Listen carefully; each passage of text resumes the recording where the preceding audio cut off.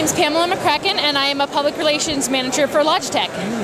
Logitech today announced a new Logitech Speaker Lap Desk N700. It is a great product for people that usually have their computer on their lap, and we know that that can get kind of warm.